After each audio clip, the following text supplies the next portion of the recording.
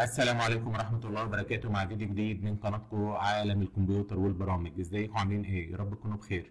في الفيديو بتاع النهارده بإذن الله هنتعلم إزاي نرجع الملفات المحذوفة من على جهاز الكمبيوتر بتاعنا حتى بعد ما حضرتك تعمل فرومات. باستخدام أقوى البرامج المجانية اللي بتتيح لينا هذه الخدمة. لو حضرتك حابب تعرف هنعمل ده مع بعض إزاي تابع معايا الفيديو للنهاية. الخطوة الأولانية اللي إحنا هنعملها بإذن الله إن إحنا نفتح المتصفح بتاعنا. ونيجي في خانة البحث اللي فوق ديت نضع فيها الرابط اللي أنا إن شاء الله هتركه لك في قلب صندوق الوصف بتاع الفيديو. نضغط على enter من لوحة المفاتيح بتاعتنا وننتظر لحد ما صفحة البرنامج اللي إحنا هنشتغل بيه تحمل. تمام كده؟ هيفتح معانا بالصورة ديت. تمام؟ اللي هو برنامج اسمه MiniTool Data Recovery. تمام كده أهوت؟ هنبدأ نضغط على free download تمام؟ وننتظر لحد ما تبدأ عملية التحميل. كل اللي حضرتك هتعمله هتنتظر لحد ما عملية التحميل تبدأ معاك.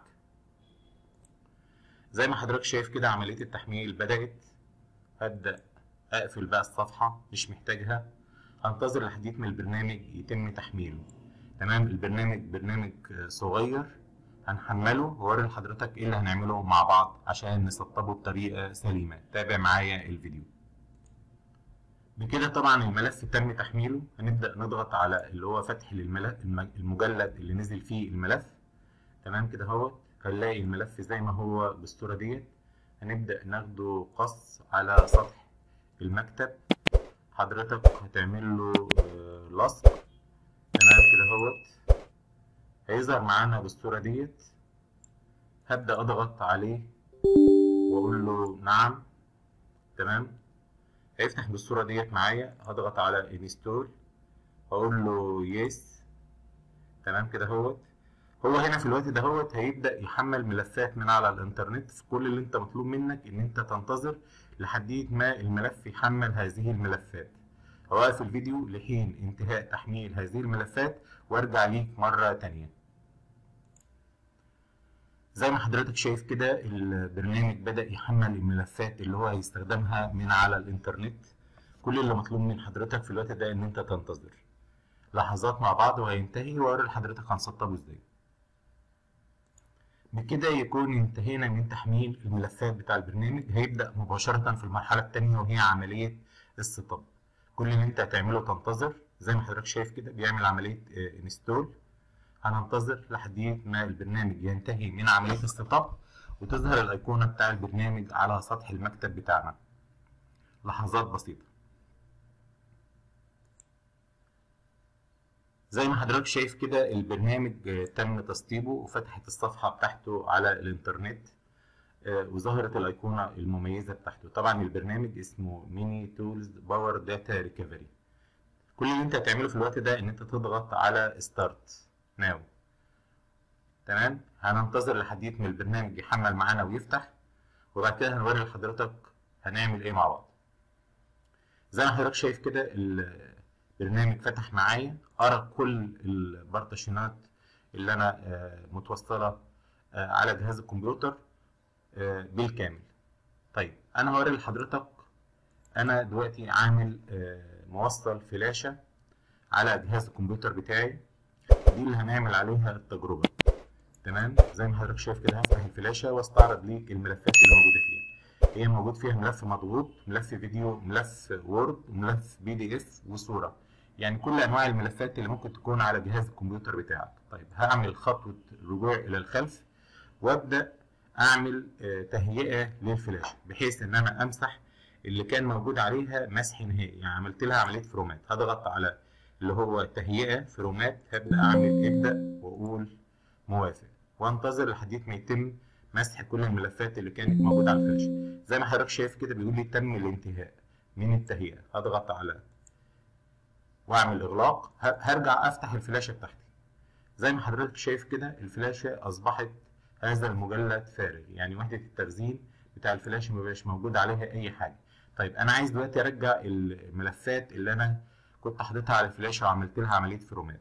هرجع مرة تانية للبرنامج وأبدأ أحدد اللي هي الفلاشة بتاعتي. الفلاشة بتاعتي طبعا زي ما حضرتك شايف كده هي 16 جيجا بس هي طبعا بتبقى مقريه 14 هبدأ أضغط على إسكان.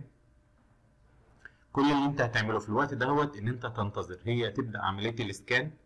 هتنتظر لحد ما يتم استعادة الملفات اللي كانت موجودة على الفلاشة بتاعتك بالكامل. عملية المسح للفلاشة بدأت هو دلوقتي حوالي 5% بيقول لي إن أنا لقيت 24 ملف اتحذف من على الفلاشة. هوقف الفيديو عشان ما أطولوش عليك وأرجع ليك مرة تانية بعد انتهاء المسح ونشوف هل البرنامج قدر إن هو يرجع الملفات اللي أنا عملت لها format من على الفلاشة ولا لا؟ تابع معايا الفيديو للنهاية. زي ما حضرتك شايف كده معايا البرنامج انتهى من استعادة الملفات اللي موجودة على الفلاشة. لو أنا ضغطت هنا كده على وحدة التخزين الجديدة وأبدأ أنزل عند حاجة اسمها اللي هي ال lost files هيبدأ يقول لي اللي هي الملفات اللي كانت مفقودة على الفلاشة ورجعت. آه لو أنا ضغطت على ديليت برضو هيبدأ يظهر لي الملفات اللي هي رجعت. تمام كده؟ هنضغط هنا. تمام؟ ابدا أضغط عليهم واحدة واحدة هيظهر لي كل الملفات اللي كانت موجودة. تمام كده؟ فأنا هبدأ أحدد له اللي هي الملفات اللي أنا عايز أرجعها. على سبيل المثال هنا أنا ضغطت اللي هي عند عشان أوريها لحضرتك مرة تانية.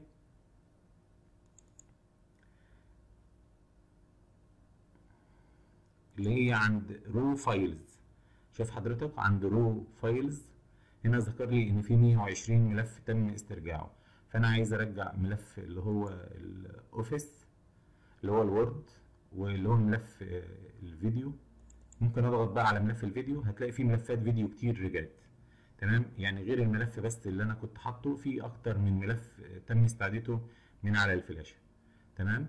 طيب ولو أنا هرجع لورا شوية هضغط مرة تانية. هيبدأ يقول لي إن هنا في اللي هي الصورة في ملف صورة استرجعه لي هبدأ أعلم عليه.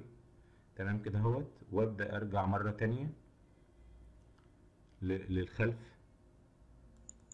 تمام كده. هيبدأ يقول لي إن في برضو صورة هنا كانت موجودة اللي هي صور عبارة عن أيقونات. هرجع تاني.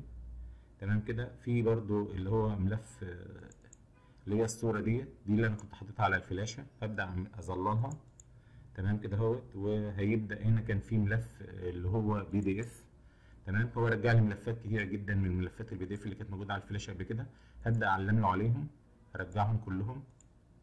يعني معنى كده إن هو رجع لي ملفات غير الملفات اللي كانت موجودة قبل كده على الفلاشة. هبدأ آخد خطوة لورا.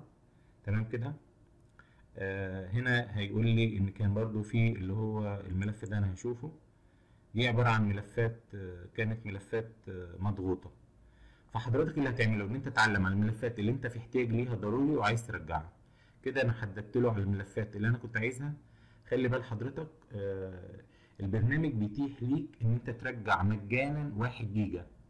تمام؟ فأنت تحاول إن أنت تختار الملفات المهمة اللي أنت عايز ترجعها وترجعها عشان هو مش متيح ليك مجانا إلا واحد جيجا.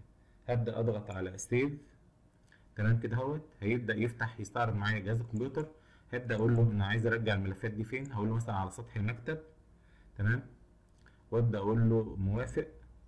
هتبدا عملية استعادة الملفات. هو هنا على طول انشا لي على سطح المكتب آه ملف. زي ما حضرتك شايف كده هو بيقول لي أنا رجعت لك آه تسع ملفات آه مساحتهم 103 ميجا. تمام كده أهوت. باقي لي في الاستخدام المجاني بتاع البرنامج 821 ميجا يعني. ممكن هرجع بيهم ملفات تانية فقدت من عندي. فالاستخدام المجاني بتاع البرنامج بيديك 1 جيجا. لو حضرتك بقى حابب إن أنت تستمتع بالبرنامج تستعيد ملفات ما لا نهاية بتشتري نسخة من البرنامج. هقفل دي واقفل البرنامج هقول له no تمام؟ هبدأ أفتح المكان اللي فيه الملفات رجعت ونشوف الملفات بتاعتنا رجعت ولا لأ. هبدأ أضغط على الملفات تمام؟ نبدأ نفتح اللي هو الملفات ال PDF ونشوف الملفات رجعت شغالة ولا لأ؟ هضغط على أول ملف أشغله. زي ما حضرتك شايف هو ده تقريبا الملف اللي كان موجود على الفلاشة في الأول اللي هو امتحان اللغة العربية بتاع الثانوية العامة. زي ما حضرتك شايف كده البرنامج فتح وشغال مفيهوش أي مشكلة. طيب مش هفتح باقي الملفات لأن هي كلها شغالة. هبدأ أجيب لك ملف تاني اللي هو ملف صورة. تمام؟ زي ما حضرتك كده شايف الصورة شغالة ما فيهاش أي مشكلة. تمام؟ هنبدأ نجيب برضو ملف اللي هو كان فيه الصورة بقى اللي كانت موجودة على الفلاشة نفسها. تمام؟ اللي هو الصورة المصغرة بتاع الفيديو بتاعنا. هننتظر لحد ما تفتح. زي ما حضرتك شايف كده الصورة فتحت معايا وشغالة ما فيهاش أي مشكلة خالص. يعني بيستعيد الملفات وترجع شغالة. طيب هبدأ أرجع خطوة لورا. تمام؟ هبدأ أجيب ملف اللي هو الوورد اللي كان موجود آه، وأنا مسحته ونفتحه ونشوف الملف هيفتح ويشتغل ولا لأ. لحظات بسيطة لحد ما الملف يفتح. تمام؟ زي ما حضرتك شايف كده اختبار اللي هو أوائل الصف الأول الثانوي. ال- الامتحان فتح معايا وشغال مفيهوش أي مشكلة. تمام؟ زي ما حضرتك شايف كده يبقى البرنامج ده فعال في استعادة الملفات المفقودة. آه، حتى بعد ما حضرتك تعمل format على جهاز الكمبيوتر بتاعك سواء كان على hard disk أو كان على فلاشة أو على أي partition من ال partitionات اللي موجودة على جهاز الكمبيوتر بتاعك. طبعا آه، بكده الفيديو بتاعنا النهارده يكون انتهى.